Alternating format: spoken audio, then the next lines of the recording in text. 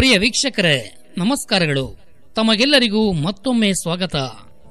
ಪ್ರಿಯ ಗೆಳೆಯರೇ, ನಿಮ್ಮ ಹೆಂಡತಿಯ ಇಂತಹ ವರ್ತನೆಗಳು ನಿಮ್ಮನ್ನು ರಾತ್ರೋರಾತ್ರಿ ಕೋಟ್ಯಾಧಿಪತಿಯಿಂದ ರೋಡ್ಪತಿಯನ್ನಾಗಿಸಬಲ್ಲದು. ಜೊತೆ ಜೊತೆಗೆ ಮನೆಯಲ್ಲಿ ನಡೆಯುವಂತಹ ಇಂತಹ ತಪ್ಪುಗಳಿಂದಾಗಿ ನೀವು ಬಡವರಾಗುವುದನ್ನು ತಡೆಯುವುದಕ್ಕೆ ಇಡೀ ವಿಶ್ವದ ಯಾವುದೇ ಶಕ್ತಿಯಿಂದಲೂ ಸಾಧ್ಯವಿಲ್ಲ. ವ್ಯಕ್ತಿಯ ಸುಖ ಸಮೃದ್ಧಿಯು ಇಂತಹ ಸ್ತ್ರೀಯಿಂದ ನಿರ್ಧರಿಸಲ್ಪಡುತ್ತದೆ. ಅವಳು ಮನೆಯ ಎಲ್ಲ ಕೆಲಸವನ್ನು ಮಾಡಬೇಕು, ಎಲ್ಲರ ಬಗ್ಗೆ ಗಮನವಿಡಬೇಕು ಆದರೆ ಇಂತಹ ಕೆಲಸಗಳಲ್ಲಿ ಕೆಲವುಗಳನ್ನು ಮಹಿಳೆಯರು ಮಾಡಬಾರದು. ಯಾಕಂದ್ರೆ ಹೀಗೆ ಮಾಡುವುದರಿಂದ ತಾಯಿ ಮಹಾಲಕ್ಷ್ಮಿಯು ಎಂದಿಗೂ ಸಹ ಒಲಿಯುವುದಿಲ್ಲ. ಪ್ರಾಚೀನ ಕಾಲದಿಂದಲೂ ಮನೆಯ ಸೊಸೆ ಮಗಳಿಗೆ ಲಕ್ಷ್ಮಿಯ ಸ್ವರೂಪವೆಂದು ಪರಿಗಣಿಸಲಾಗಿದೆ. ಇಂತಹ ಸ್ತ್ರೀಯು ಮನೆಯನ್ನು ಸ್ವರ್ಗವನ್ನಾಗಿಸಬಲ್ಲಳು, ಇಲ್ಲವೇ ನರಕವನ್ನಾಗಿಸಬಲ್ಲಳು. ನಮ್ಮ ಶಾಸ್ತ್ರಗಳಲ್ಲಿ ಇಂತಹ ಹೆಣ್ಣು ಮಕ್ಕಳ ಸ್ವಭಾವದ ಬಗ್ಗೆ ತಿಳಿಸಲಾಗಿದೆ. ಇವರ ಕಡೆಯಿಂದ ಕುಶಲವಿರುವಂತಹ ಪರಿವಾರವು ಸಹ ನರಕಕ್ಕೆ ಸಮಾನವಾಗಿ ಬಿಡುತ್ತದೆ. ಮನೆಯಲ್ಲಿ ದಾರಿದ್ರ್ಯತೆ ಬರುತ್ತದೆ. ನೀವು ಇದರಲ್ಲೇ ತಿಳಿದುಕೊಳ್ಳಿ, ಮಹಿಳೆಯರ ಇಂತಹ ಕೆಲವು ತಪ್ಪುಗಳಿಂದಾಗಿ ಕುಶಲವಾಗಿರುವ ಕುಟುಂಬವು ಕೋಟ್ಯಾಧಿಪತಿಯಾಗಿರುವವರು ಭಿಕಾರಿಗಳಾಗಿ ಬಿಡುತ್ತಾರೆ. ಬನ್ನಿ ಹಾಗಾದರೆ ತಿಳಿಯೋಣ. ಮೊದಲನೆಯದಾಗಿ, ಕಾಲು ಅಲ್ಲಾಡಿಸುವುದು. ಯಾವ ಮನೆಯ ಹೆಣ್ಣು ಮಗಳು ಊಟ ಮಾಡುವ ಸಮಯದಲ್ಲಿ ಕಾಲುಗಳನ್ನು ಅಲ್ಲಾಡಿಸುತ್ತಾರೋ ಅಂತಹ ಮನೆಗಳಲ್ಲಿ ಯಾವುದೇ ಸಮಯದಲ್ಲೂ ಸರ್ವನಾಶವಾಗಬಹುದು. ಮಹಾಲಕ್ಷ್ಮಿಯು ಕ್ರೋಧಗೊಳ್ಳುವವಳು. ಪರಿವಾರದಲ್ಲಿ ಮನಸ್ತಾಪಗಳು ಉಂಟಾಗಿ ಹಿರಿಯರು ಕೆಲಸ ಕಳೆದುಕೊಳ್ಳುತ್ತಾರೆ.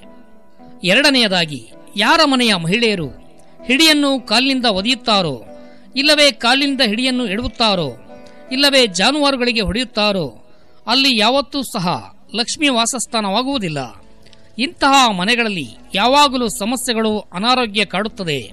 ಹಿಡಿಯಲ್ಲಿ, ಪೊರಕೆಯಲ್ಲಿ ತಾಯಿ ಲಕ್ಷ್ಮಿಯು ವಾಸವಾಗಿರುತ್ತಾಳೆ ಎಂದು ಪರಿಗಣಿಸಲಾಗುತ್ತದೆ.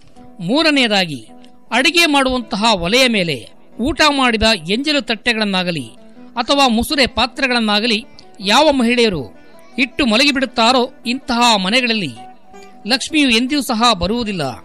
ಇದು ನಿಮ್ಮ ಬಡತನ ಮತ್ತು ನಿಮ್ಮ ದುಃಖಕ್ಕೆ ಬಹುದೊಡ್ಡ ಕಾರಣವಾಗಲಿದೆ. ಇದಕ್ಕಾಗಿ ರಾತ್ರಿ ವೇಳೆಯಲ್ಲಿ ಮುಸುರೆ ಪಾತ್ರೆಗಳನ್ನಾಗಲಿ ಎಂಜಲು ತಟ್ಟೆಗಳನ್ನಾಗಲಿ, ಒಲೆಯ ಮೇಲೆ ಅಥವಾ ಒಲೆಯ ಅಕ್ಕಪಕ್ಕದಲ್ಲಿ ಇಡದೆ ತಕ್ಷಣವೇ ತೊಳೆದು ಇಟ್ಟುಬಿಡಿ. ಯಾಕೆಂದರೆ ಆ ಮುಸುರೆ ಪಾತ್ರೆಗಳು ನಿಮಗೆ ಶಾಪವನ್ನು ನೀಡಬಹುದು. ನಾಲ್ಕನೆಯದಾಗಿ, ಯಾವ ಮನೆಯಲ್ಲಿ ಹೆಂಗಸರು ಕಾಲಿನಿಂದ ಒದ್ದು ಬಾಗಿಲನ್ನು ಹಾಕುವುದು ಇಲ್ಲವೇ ತೆಗೆಯುವುದನ್ನು ಮಾಡುತ್ತಾರೋ? ಇದರಿಂದಲೂ ಧನದೇವಿ ಮಹಾಲಕ್ಷ್ಮಿಯು ಕ್ರೋಧಳಾಗುತ್ತಾಳೆ. ಆದ್ದರಿಂದ ನಿಮ್ಮ ಮನೆಗಳಲ್ಲಿ ಈ ರೀತಿ ನಡೆಯುತ್ತಿದ್ದರೆ ಅದನ್ನು ಈ ತಕ್ಷಣದಿಂದಲೇ ನಿಲ್ಲಿಸಿಬಿಡಿ. ಇಲ್ಲದಿದ್ದರೆ ಅದು ನಿಮಗೆ ವಿನಾಶಕಾರಿಯಾಗಬಹುದು. ಯಾಕೆಂದರೆ ಲಕ್ಷ್ಮಿಯ ಆಗಮನವು ಇಲ್ಲಿಂದಲೇ ಆಗುವುದು. ಐದನೆಯದಾಗಿ, ನಿಮ್ಮ ಮನೆಯ ಮಹಿಳೆಯರು ಮನೆಯ ಮುಂಬಾಗಿಲಿನ ಹೊಸ್ತಿಲ ಮೇಲೆ ಕುಳಿತು ತಿನ್ನುವುದು ಊಟ ಮಾಡುವುದು ಅಭ್ಯಾಸವಿದ್ದರೆ ಅದು ನಿಮ್ಮ ಮನೆಯ ಸರ್ವನಾಶಕ್ಕೆ ಮುಖ್ಯ ಕಾರಣವಾಗಬಹುದು. ಹಿಂದೂ ಶಾಸ್ತ್ರಗಳಲ್ಲಿ ಇದನ್ನು ಭಯಂಕರವಾದ ಅಶುಭವೆಂದು ಪರಿಗಣಿಸಲಾಗಿದೆ. ಆರನೆಯದಾಗಿ, ಯಾರ ಮನೆಯಲ್ಲಿ ರಾತ್ರಿ ವೇಳೆಯಲ್ಲಿ ಮಹಿಳೆಯರು ಹಿಡಿಯನ್ನು ಬಳಸುತ್ತಾರೋ ಆ ಮನೆಗೆ ದಾರಿದ್ರ್ಯತೆ ಬರುತ್ತದೆ.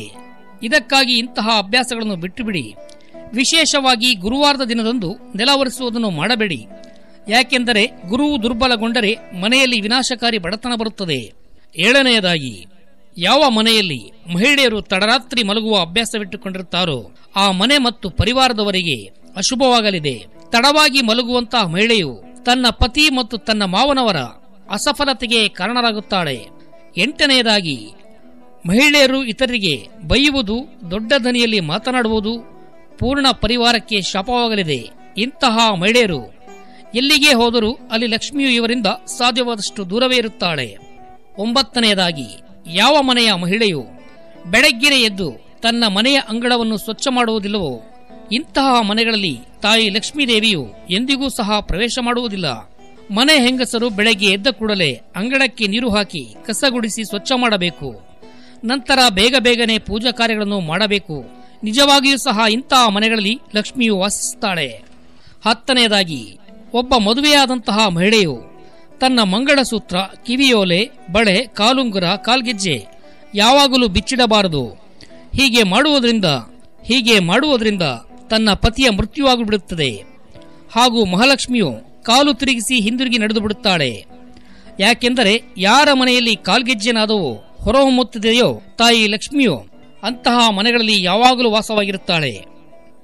ಗೆಳೆಯರೇ, ಯಾರು ತಮ್ಮ ತಮ್ಮ ಮನೆಗಳಿಗೆ ಲಕ್ಷ್ಮಿಯನ್ನು ಕರೆತರಲು ಬಯಸ್ತೀರಾ? ಒಳ್ಳೆಯ ಮನಸ್ಸಿನಿಂದ ಕಾಮೆಂಟ್ ಬಾಕ್ಸ್ನಲ್ಲಿ, ತಾಯಿ ನಮ್ಮ ಮನೆಗೆ ನಿಮ್ಮ ಸ್ವಾಗತವಿದೆ ಎಂದು ಬರೆಯಿರಿ.